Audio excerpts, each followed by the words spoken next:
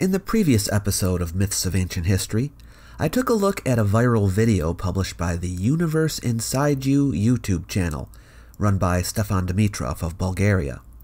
The video, written and narrated by Elizabeth Firestone, offers an explanation for what the purpose of the Egyptian pyramids is, and especially the Great Pyramid of Giza. I spent the first video, which I recommend you go watch first, I'll leave a link below, presenting for you the evidence that the pyramids were meant to be tombs. In this video, we will look at a competing hypothesis which Dimitrov advocates that the pyramids were not tombs, but in fact, power plants. I'd love to hear your input after you watch both of my videos to the end on which explanation for the purpose of the pyramids seems more likely to you.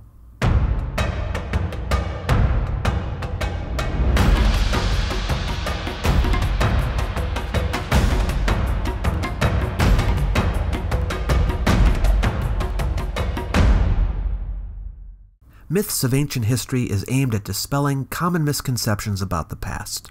If you're interested in ancient history, lost civilizations, and secrets from antiquity, I encourage you to subscribe to the channel, because you will get lots of it. And if you find this particular video valuable, please hit the like button and comment below with your favorite takeaway. And feel free to ask any clarification questions that you may have. Now, let's take a look at the hypothesis offered by Dimitrov. This is what his video has to say. Can advanced technology be lost and rediscovered centuries later? Is it possible that an ancient culture had knowledge of and used electrical power? Is it possible that technology can be lost and rediscovered? Of course it can. There was, for example, Roman technology that fell into disuse in the medieval period of Europe, only to be rediscovered later. In the first century CE, Hero of Alexandria is believed to have invented the steam engine long before its modern use.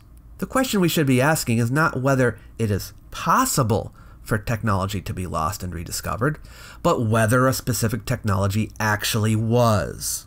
How do we know it was? If we wanted to demonstrate that an ancient culture had electric power, how would we go about demonstrating that? Well, we would draw attention to clear evidence of it in the form of material remains and written records, like I just did for the tombs. But of course, for it to be a stronger hypothesis than the one about the tombs, one would have to possess even stronger evidence and be able to provide an explanation for the existence of each piece of the tomb evidence I gave. Remember, a good hypothesis will not ignore evidence, but will be able to explain all of it. So if Dimitrov's hypothesis is true, he'll need to have explanations as to why the tomb evidence doesn't count. To know for sure. Well, to know for sure, we would have to see indisputable evidence of it. This would mean clear and explicit mention of electricity in Egyptian written records. Indisputable material evidence, not only in the form of devices that generate the electricity, but also devices that demonstrate the widespread use of electricity throughout Egypt. If anyone wanted to show that a pyramid could generate electricity, this could easily be done by replicating it on a small scale, right? One could create an actual apparatus based on the pyramid design, using the same materials it was made out of. If they could light a bulb this way, that would demonstrate it beyond a reasonable doubt. Why this hasn't been attempted already, I don't know. Seems like the next logical step. But let's see what Dimitrov says. To know for sure, let's look at another case where technology of power generation appears to have been used and then forgotten. Oh, I see. He's still on the question of whether it is possible, not on whether it was actually done in Egypt. In Iraq in 1934, three artifacts were found together a ceramic pot, a tube of copper, and a rod of iron, which, when combined with a liquid acid, can be used to create chemical reactions that produce an electrical charge. Known as the Baghdad or Parthian battery, these materials date back 2,000 years. Ten years after their discovery, someone using grape juice with similar materials successfully generated a few volts of electricity. The reasoning here appears to be that if Iraq had electricity somewhere between the 3rd and 7th centuries CE, when this battery was made, then Egypt could have had electricity 3,000 years before that. Uh, we are actually closer in time to this Baghdad battery than the battery is to the Great Pyramid. It also has no terminals, and no evidence of the use of electricity has been found elsewhere in Iraq from the same time period. For these reasons, most archaeologists don't even think it is a battery. But historians have long assumed that thousands of years ago there was no knowledge of this technology, that this archaeological find is mere coincidence, even though we've long marveled over artifacts with intricate gold plating, which requires electricity to be created. Uh, wait. Gold plating requires electricity to be created? Well, we know that that's not true. Strange statement. Quite simply, energy generation happens as a result of simple chemical properties and can be done by anyone with four basic materials. Technology often seems obvious in hindsight. Okay, so now Dimitrov gets to the actual material evidence for his claim that the Great Pyramid was a power plant. Keep in mind that most of this doesn't apply to any other pyramid in Egypt, so he appears to be separating the Great Pyramid from all the rest, but sometimes he says pyramids, so it's confusing. So, here are some important facts about the structure and the materials of the pyramid. For starters, it contains angled tunnels which lead not only into the pyramid but deep underground to areas claimed still to be unexplored what tomb needs a shaft directed into the earth? So, the first piece of evidence is that unexplored tunnels lead deep underground. You might wonder what that has to do with electricity. He does get to that later, but I should point out that one can't know how deep a shaft goes before exploring it. So, to say that they go deep underground is pure speculation. We also know that centuries ago there were enormous swivel doors that weighed no less than 20 tons but miraculously it was so well engineered it could be moved to enter with a push of a hand. Since no Egyptian tomb has ever been found to be deliberately accessible, what was their interest in continuing to visit the mummies, or could such a door have served the purpose of perhaps containing and insulating the space inside? Sir Flinders Petrie theorized that there might have been some kind of a flap door or swivel door on the Great Pyramid entrance. He got this from a passage in Strabo, but there's some question as to how that passage should be translated. Anyway, the fact that no one could find the door, even the Arabs who dug in through the outer casing to try to find the entrance, only 35 feet from where the entrance was, and never once noticed it, suggested it was never there. This would be even after the white plaster finish of the pyramids had come off, revealing all of the imperfections underneath. Whatever entrance there was seems very much to have been stoned over and uh, a casing put over it, without any openings or cracks or crevices whatsoever. So that means no maintenance after completion. Though you'd almost never know it, the Great Pyramids of Giza were once covered in white polished limestone referred to as casing stones. The cuts made in this reflective stone were angled perfectly so it would have a smooth, flat appearance. This would have made the giant structures brightly reflect the light of the sun like a mirror. It also would have made perfect insulation inside the structure. Was there a desire to draw attention to their dead? To keep mummies warm or cool, or perhaps something else? This is what we call begging the question. He says there was no reason to insulate mummies, so therefore this wasn't a tomb. But he's assuming his conclusion that the limestone was for insulation. Maybe he isn't aware that even to this day, limestone is used in building. Google limestone buildings, and you'll see a bunch of limestone buildings not used as power plants. Limestone was an abundant and valuable resource in Egypt, and it's very strong. Good building material. If the limestone was for insulation, there is way too much of it. Does he realize that there are well over a million tons of limestone in the Great Pyramid? The pyramid is mostly limestone. It's some 230 feet thick. Next, the material, dolomite, was used on the inner surfaces. dolomite is known to increase electrical conductivity directly relative to the amount of pressure on it. High pressure creates more electrical current. No, no, no, no, no. Oh, did you see the switcheroo performed right there? First, she says that pressure on the dolomite increases electrical conductivity. Okay, but then concludes that pressure on the dolomite creates electrical current. That's two different things. An electric current cannot be created by putting pressure on dolomite. Next, lining the passageways and underground tunnels of the pyramids is granite, which is slightly radioactive. Granite contains high amounts of quartz crystal with metal, and it's a well known conductor of piezoelectricity.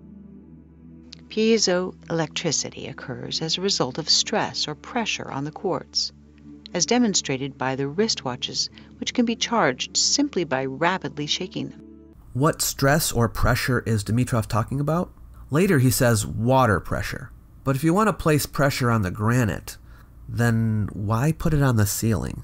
This granite actually ionizes the air inside the pyramid, creating a chemical reaction which, again, increases the conductivity of electricity. When such electrons are given the chance to bypass sections of rock via metal wire, quite large currents can flow. What metal wire? There are no metal wires in the pyramids. The amount of energy generated by the ionization of the air by granite can be mathematically calculated. I challenge Dimitrov to do the math. He'll be disappointed by the result. Another important material used to construct them is the mysterious mortar, half a million tons of it, which holds the giant stones in place. Though it's been analyzed many times, modern technology has yet to exactly recreate this gypsum, which comes from sediment. This gypsum can withstand tremendous pressure and astoundingly is even stronger than the stones themselves. Clearly, it's contributed to keeping the monument intact for thousands of years. But could there be another reason why they used a material which could withstand such high pressure? Besides holding the pyramid together, does there need to be another reason? So, limestone, dolomite, granite, supposedly constructed for a tomb, are, in fact, analogous to the exact materials we use to make electrical wires. They also share a relationship with pressure, which increases their electroconductivity. Would you say that any time you find conductive material, that means it must have been used to conduct electricity? I'm sure you'd agree. No. Let's say I put before you, side by side, all of the individual ingredients that a cell phone was made out of. Would that make it a cell phone?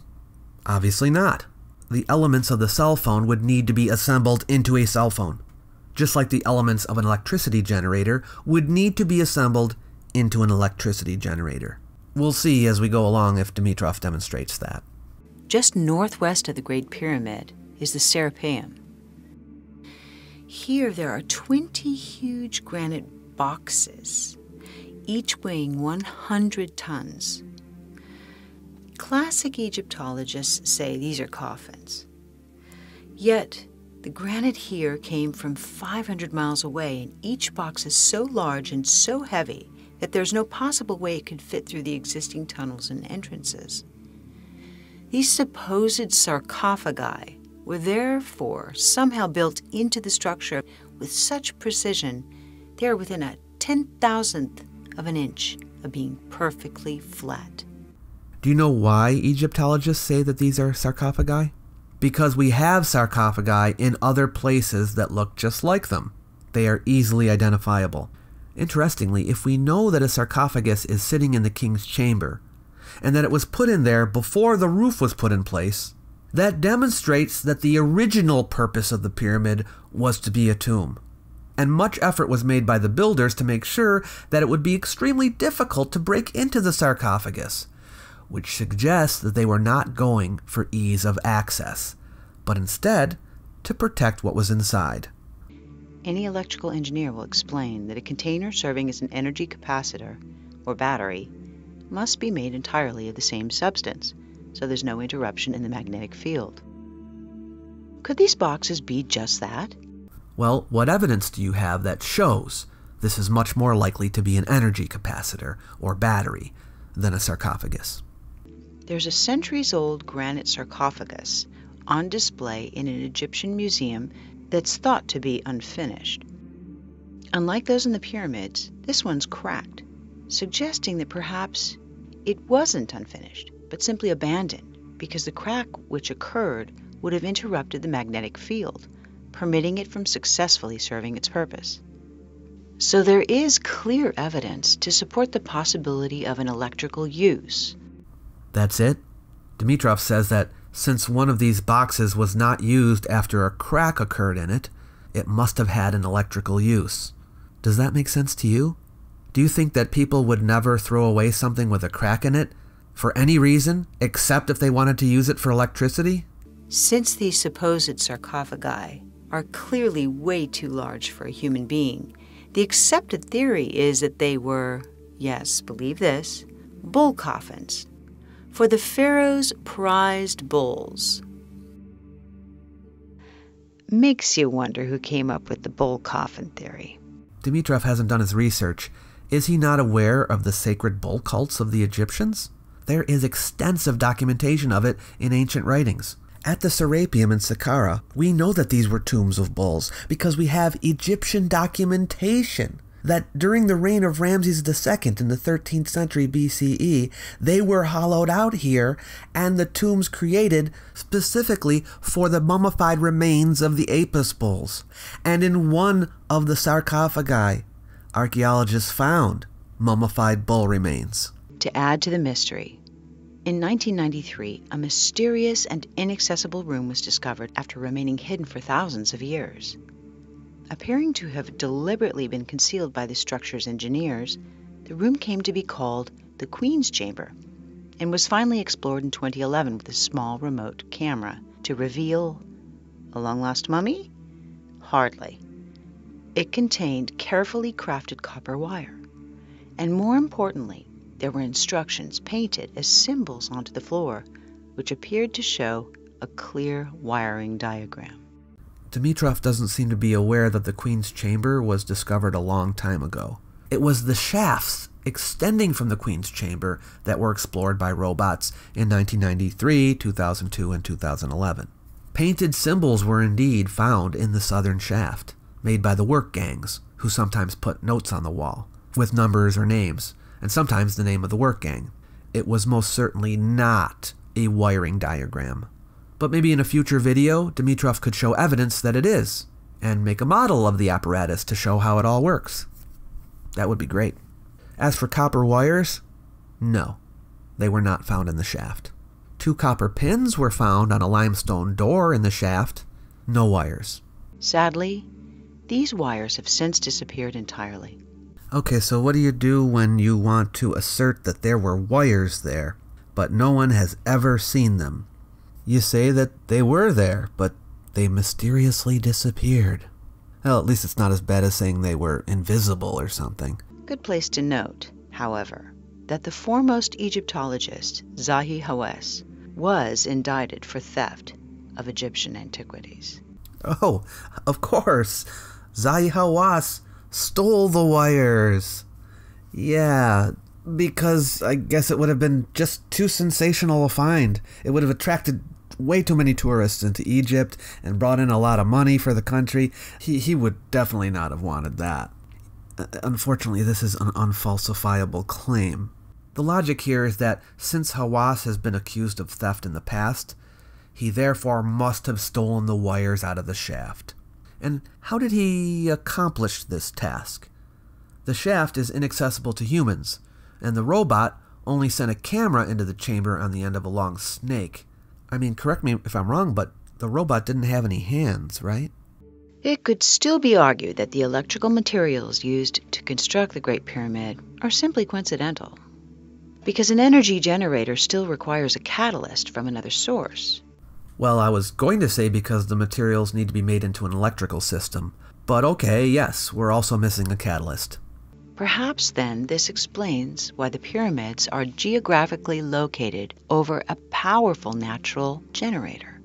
underground rivers, and aquifers. Physioelectricity could be harnessed from the power of the current as the water flows. And it has been proven that thousands of years ago, the Nile River passed directly by where the structures now stand. Wait, physioelectricity? What happened to the piezoelectricity? Did we change systems midway through the video? Yes, the Nile flowed near the pyramids at one time. Now show us the mechanism for harnessing this energy. Of course, this brings in a debate about the age of the pyramids themselves, along with the weathering on the nearby Sphinx, indicating that the monuments are actually double the age they're currently assumed to be.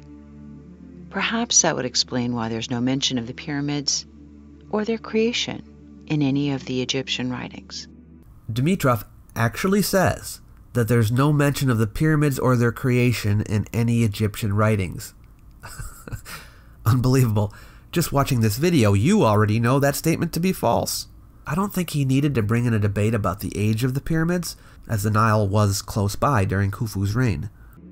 So, if water was a source of power, it would have traveled up the limestone based on the principle of capillary action, which happens when a small area of a substance that gets wet absorbs into the entire area of that substance.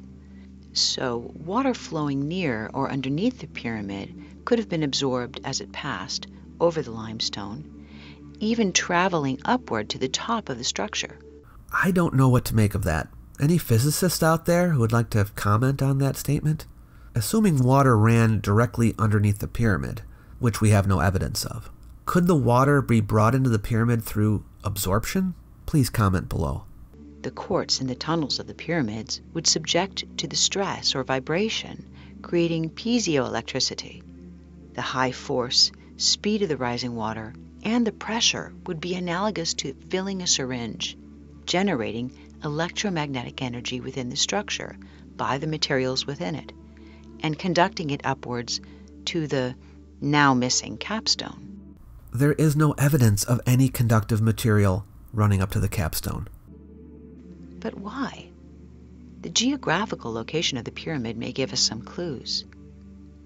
It is located exactly at a point which magnifies the electromagnetic forces on the planet, where telluric currents are at their strongest.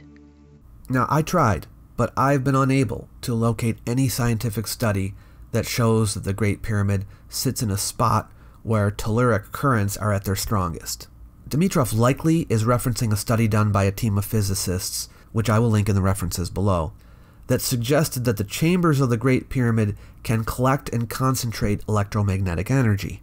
They had to make some assumptions, such as that there are no hidden chambers in the pyramid, and that the limestone is distributed evenly throughout the pyramid, both of which hurt the electricity hypothesis, Whatever the case, Dimitrov needs to make up his mind what kind of power plant the Great Pyramid was, and what kind of power plants the other pyramids were. First, he was talking about water pressure, now he's talking about electromagnetic energy, uh, he was talking about piezoelectricity, then physioelectricity. He's all over the place. We don't know for sure what capped the pyramid, but there is speculation that it may have been gold, explaining, of course, why it's long since been missing. If it were gold, this could have created a conductive path for energy to be directed upwards, high into the ionosphere.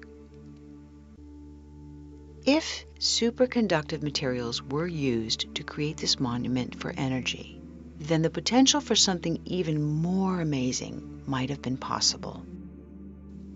Wireless electricity. So, because some have speculated that the capstone was gold, it therefore was gold, and apparently solid gold. By the way, gold is not a superconductor. Now let's see how Dimitrov demonstrates that wireless electricity was used in Egypt. You know, to power all those ancient wireless electronic devices that have never been found. Sound far fetched? One bold and extraordinary man swore this was possible, and he may have showed us how. We know of Nikola Tesla as the solitary genius responsible for the electric engine, radio, laser, radar, and for creating a tremendous competitive spirit in Thomas Edison. Most importantly, we know that Tesla claimed adamantly that he had perfected the method of harnessing and transmitting free wireless energy using the electromagnetic nature of the planet. All right, now, if Dimitrov wants to argue that the Egyptians used the same wireless energy system as Tesla, or something very similar, then we can definitely make some comparisons. But if he is just bringing up Tesla to show that wireless electricity is possible, then it doesn't really help him all that much, because we still would be no closer to understanding how the supposed Egyptian power plants worked. There, of course, is nothing resembling a Tesla coil in the Great Pyramid or any of the other pyramids. No dielectric spools or coil forms, no connection points to affix metal components, no evidence of corrosion, uh, no miniature models, drawings, or written descriptions either. The thousands of pounds of copper or other metals that would be required also are absent. So, if there's a magnetically oscillating current and you create a second possessing the same frequency, the wireless transmission can pass through solid materials and through long distances. The frequency which would have been released from the pyramid would have to have been matched in the surrounding area. Perhaps this would explain the obelisks, the tall monuments which could be acting as receivers, particularly if there's a quartz stone at the top of them. If he could show us these quartz stones, that would help support his theory. Sadly, they don't exist. Well, is there a hollow place at the top of these obelisks where the quartz stones would have been placed? Nope. He also doesn't seem to take into consideration that the obelisks were created centuries after the Great Pyramid. We know this because the obelisks have the names of the Egyptian rulers who built them written on them. So then, why were these supposed receivers built in a completely different time period than the power plants? This would also explain the ancient carvings in Egypt, which so clearly indicate light sources, it's boggling to think anyone would even argue it. In the Hathor Temple, the Dendera light is one such image, it perfectly resembles modern electrical technology, showing a wire inside of a bulb like area and a box which appears to be a receiver. This is the image that Dimitrov is talking about. It boggles his mind that anyone would even argue that these are not light bulbs and that this snake here is not a filament. If these light bulbs existed, and they were in widespread use throughout Egypt, you'd think we would find the remnants of a whole bunch of them we haven't found one. Not even the parts of a light bulb. There's no evidence that the Egyptians worked with glass. No glass objects, no glass making shops, not even a shard of glass, nor any other clear material for that matter. What we are looking at here is a lotus flower, the Egyptian blue lotus, or water lily to be precise, associated with the god Nefertem. Lotus flowers are depicted all over Egyptian art, so it's not difficult to identify it. The lotus was significant to the Egyptians because it opened and closed with the rising and setting of the sun. The opening symbolized the dawning of a new day, new year, or new cycle, which is appropriately depicted in a temple associated with the New Year's festivals. The behavior of the lotus and its color, blue with golden yellow interior, led to a belief that it was the original container of the solar gods. In Egyptian myth, the lotus was part of creation. The sun god Re, or the god Atum in another version of the myth, emerged from the lotus in an egg. In this image, the lotus flower is spawning a snake inside of a giant pod or egg, and there's no doubt that it is a snake. What does it represent? Har Sematawi, known as Harsomptis in Greek. It means Heru, uniter of the two lands, a personification of the sky, and in his other guise as Ra Sematawi or Resomptis, the personification of the sun, especially the new rising sun. At the Dendera temple, he is often shown as a snake. The image of a bubble surrounding the serpent also represents an actual hieroglyphic word, Iterti, which means primordial sanctuary, sacred place, or sacred palace. It refers to the primordial birth sanctuary of the sun. So the bubble surrounding Har Sematawi represents the protective enclosure of the sky, the environment in which the sun is born. It's associated with the womb or placenta of the goddess Nut, who swallows the sun each night and gives birth to the sun each morning. Don't believe me? Well, let's look at the inscriptions. The inscription above the figure on the right reads, Words spoken by Har Sematawi, the Great, who resides in Dendera, the living Ba, that's a spirit, in the lotus flower of the day solar bark. In the lotus flower of the day solar bark, whose perfection the two harms of the Djed pillar carry as its image, while the Kas, uh, these are animating spirits, on its knees are with bent arms. And the inscription above the figure on the left reads, Words spoken by Har Sematawi the Great, who resides in Dendera, who is in the arms of the princes in the night solar bark, the noble snake, whose statue is carried by Hay, whose Ka carries his perfection in holiness, because of whose Ba appearing in the sky, whose shape is admired by admirers, who comes as unique, enveloped by his serpents, with numerous names in the land of Atum, the father of the gods, who created everything. It's all right there for us. I'll leave you a detailed analysis of the wall art and the inscriptions in the description below this video, so you can go and get a full handle on what is depicted here. But I think it's fair to say that Dimitrov didn't even bother reading what is on the wall. The Hathor temple at Dendera, by the way, was started by Pharaoh Nectanebo II, who reigned in the 4th century BCE, a period well documented in Egyptian history. But most of the temple, including the art we're looking at, comes from even later, the Ptolemaic period, when the Greeks ruled the land. Greeks, Persians, Romans, and all sorts of other foreigners were visiting and writing about Egypt at this time. Guess how many of them talk about the great light bulb technology of the Egyptians. Yeah, none. Across from this carving is a similar image, but the system appears to be falling into the hands of a reptilian looking being, as though it's a warning of the potential to abuse this technology. reptilian looking being. That's the Egyptian god Upu, who has the body of a baboon and the head of a toad. How do I know that?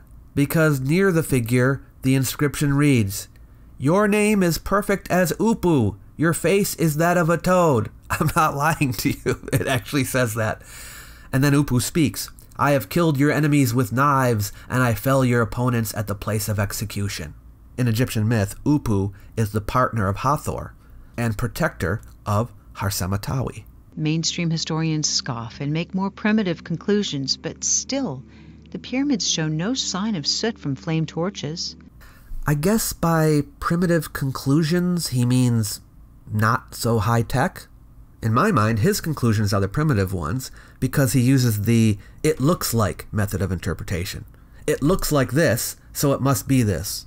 It's easier because it requires no research. As for the soot, as a point of comparison, can Dimitrov show evidence of soot from flame torches in other Egyptian tombs? The ancient Egyptians used oil lamps, not flame torches.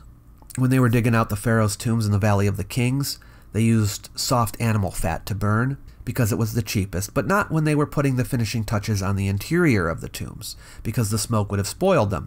Castor oil, and in some special cases sesame seed oil, burned cleaner. And by making the wicks short and keeping the flame low, they made less soot.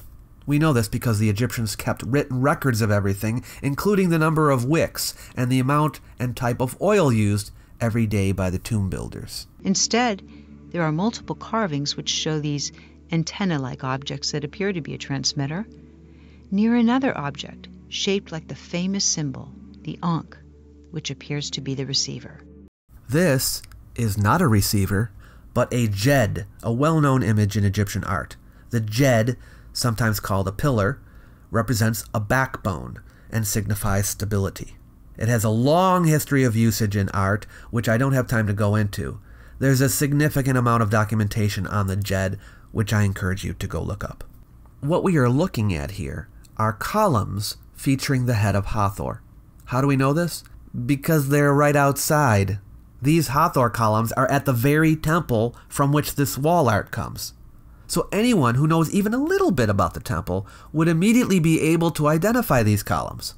They're also at many other temples in Egypt. The column is topped by a sistrum sound box in the shape of a temple. The sistrum was a musical instrument used in the worship of Hathor and held in these boxes.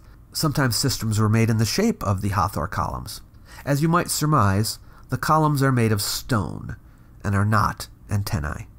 I should also mention that the ceiling of the hypostyle hall at the Dendera temple, the temple featuring the so called light bulb technology, is caked with soot. Given all this, it seems so much more believable that the Great Pyramid functioned using the same principles and conditions as Tesla sought to demonstrate. That they conducted and directed electromagnetic energy into the ionosphere, where it generated and transmitted electricity wirelessly to receivers within the civilization. And where would it go after being picked up by these receivers? The implications for this understanding of electrical power by an ancient culture is huge. It would rewrite history as we know it. Do you think that free energy could be transmitted wirelessly around the world? And whether or not you do believe that, do you think that if it really could do that, we would actually know about it? This conclusion sums up, I think, the reason why Dimitrov clings to this hypothesis. He wants wireless energy to be true, because it would be really cool. But instead of believing claims that tickle our fancy, our best bet is to believe claims that are solidly backed up by the evidence. The claim that the pyramids were tombs is. The claim that they were power plants is not. Thank you for listening all the way to the end. I'll see you next time.